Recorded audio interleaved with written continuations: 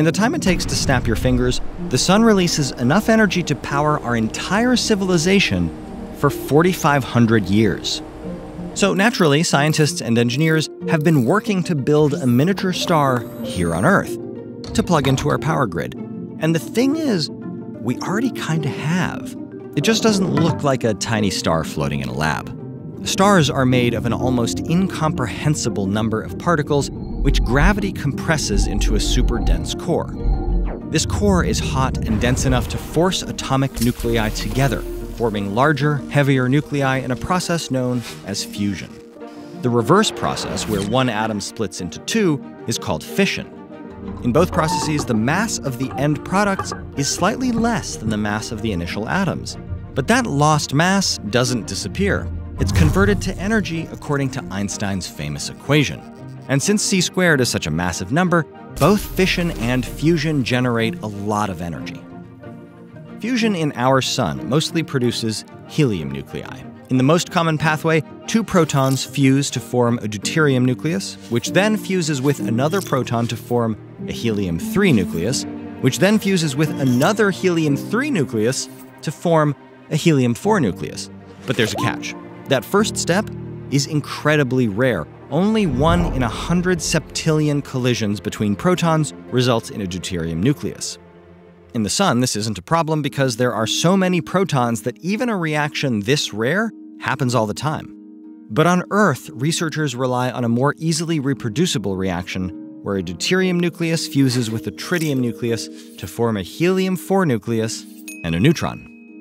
We've actually been doing reactions like this one inside particle accelerators since the 1930s. But these accelerators are not designed to harness the energy this reaction releases. Rather, they're used to generate neutrons for a variety of scientific and military purposes. Whereas, if we want to use fusion to produce limitless energy, we need a device that can harness the energy released, channel enough of that energy back into the device to keep the reaction going, and then send the rest out to our power grid.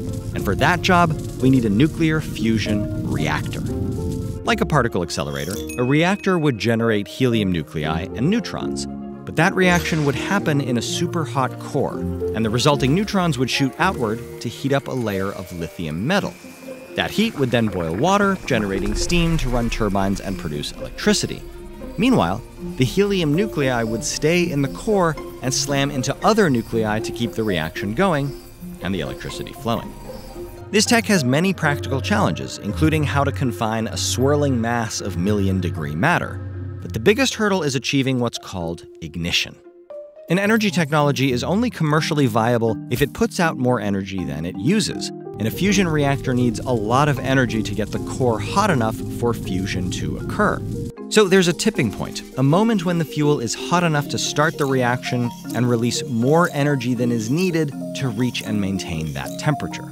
This is ignition. Stars reach ignition under the force of huge amounts of gravity, but this approach is impossible on Earth since you'd need thousands of times the mass of, well, the entire Earth.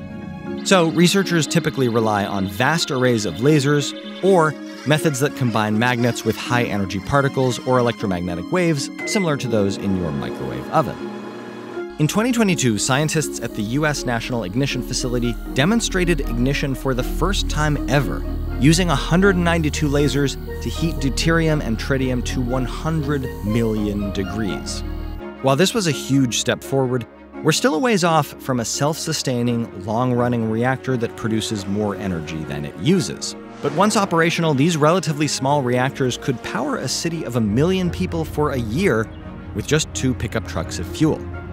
Today, you'd have to burn roughly 3 million tons of coal to produce that much energy.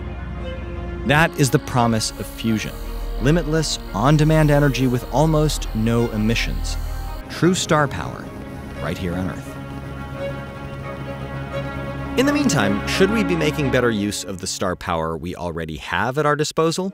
Dig into the cost benefits of switching to solar with this video. And to learn about impactful steps you can take to combat climate change, check out ed.ted.com/earthschool.